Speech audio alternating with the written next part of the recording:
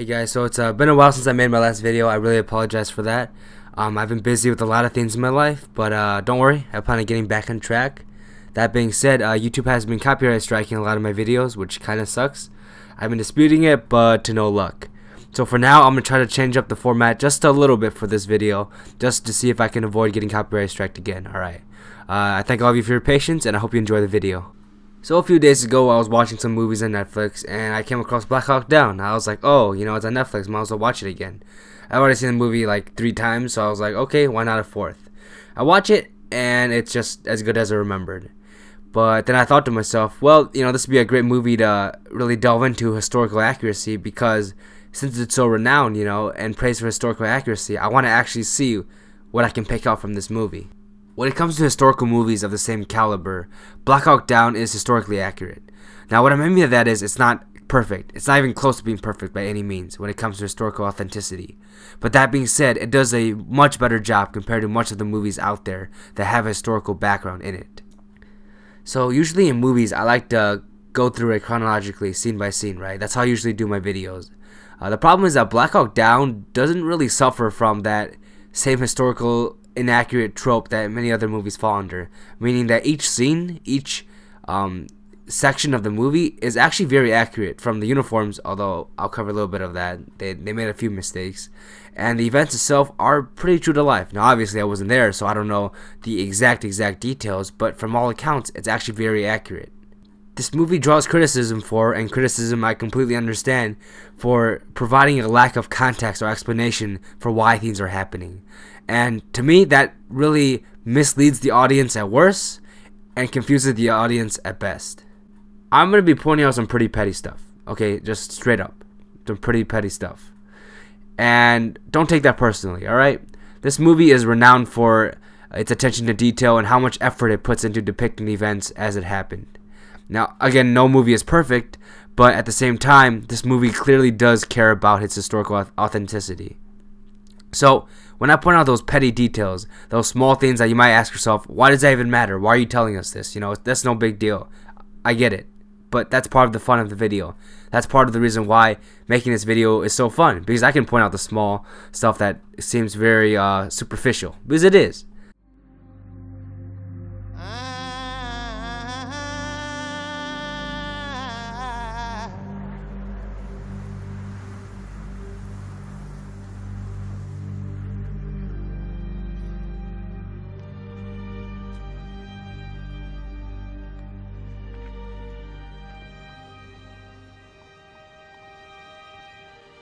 The opening scroll is pretty much the only background we get for the events leading up to Black Hawk Down. This, at least in my opinion, is actually nowhere near the amount of information needed to really understand what's going on right now in Somalia.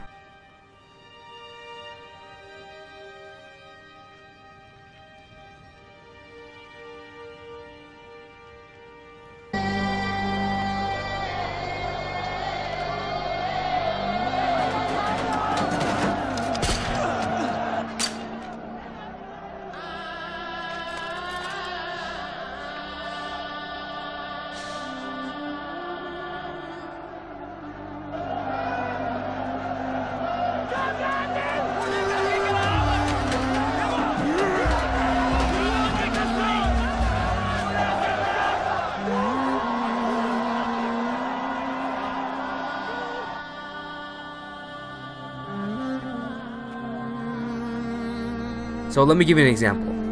Later on in the movie, when we see these downed pilots trying to defend their helicopter crash site, we see angry civilians throwing stones and trying to attack these pilots. Now, if you just knew what the movie told you, that really wouldn't make any sense. I mean, these are civilians after all. They have no weapons. At least most of them don't.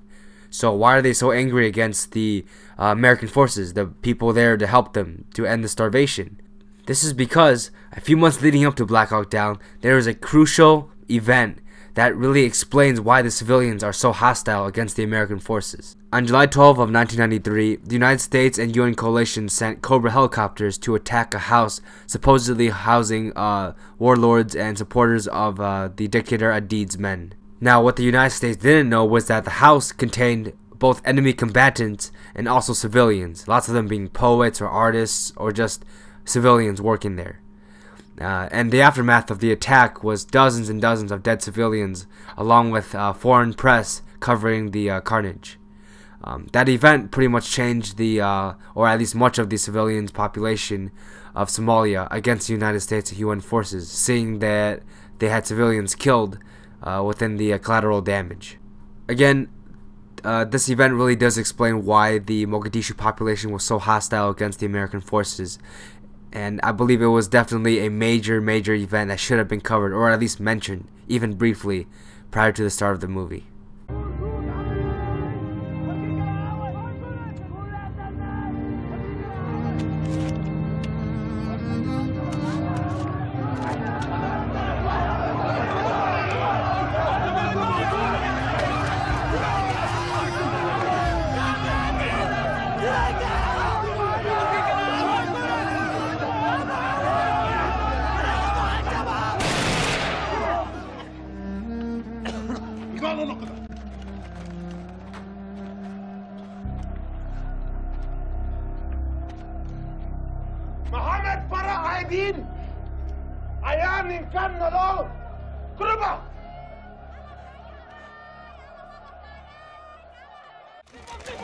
Go Blackburn, go!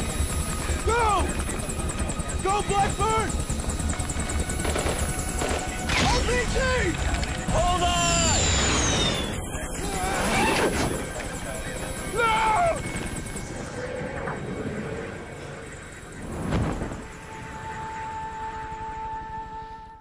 Blackburn did actually fall from a helicopter in real life.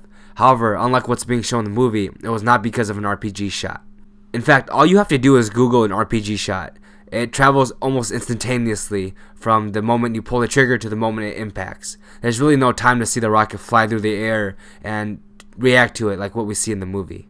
The Oakley glasses you see here were actually made six years later in 1999, and the book you see here was made, uh, or at least written, a year later in uh, 1994. So what really confuses me really is that yes, this is not a big deal. It's really not. But in a movie that cares so much about detail, you know, why would you have these two objects in it? You know, I mean, you've, you've obviously gone the uh, other 10 yards to cover everything else to make it as historically authentic as possible. So I just thought I'd bring it up. Not a big deal. Let's move on. The book Black Hawk Down makes it absolutely clear that the American forces there, uh, the Rangers and Special Forces, were not well prepared. They were uh, conducting daylight raids uh, where the enemy knew exactly where they were, exactly where they would land, exactly where they would be. And uh, many of the uh, American soldiers there were at much times incompetent, meaning that they were not prepared uh, for their situation or just simply did not bring the proper equipment, such as night vision goggles. That being said, the movie kind of gives off the vibe that the American soldiers, although at times in chaos, were always on the move, always having a direction, always having, you know, a plan. And that simply was not the case. Again, these are the words from the book author himself. So another criticism is that the movie really dramatizes lots of the events. For example, when uh, the uh, Rangers go against this technical that never happened. Or at this scene when the child soldier shoots one of his friendlies that also never happened. Honestly, I absolutely hate it when movies decide to slap in these, you know, quick Hollywood-esque moments, you know, just to capture the audience attention. I mean, if I wanted to see fake events, then why am I even trying to watch a historical film? Why not just watch Star Wars or something like that? Nothing wrong with Star Wars, but there's a dozen other movies I can think of that I would rather watch than just watching a complete fabrication of things that did happen in real life. At the end of the day, you have to realize that Black Hawk Down is a movie, and for being a historically based movie, it does a very, very good job of displaying the Battle of Mogadishu in a Hollywood-esque light, but at the same time doing the events justice. The video itself isn't that long. I understand that.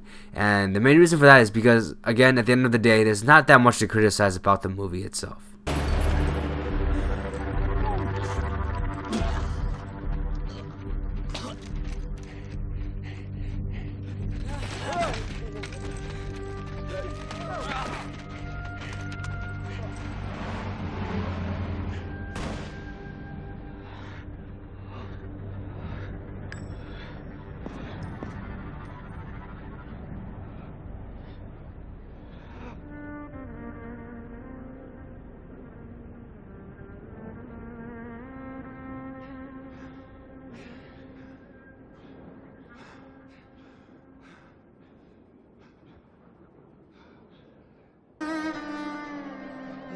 Beli non toda nyama gila mbayruɗa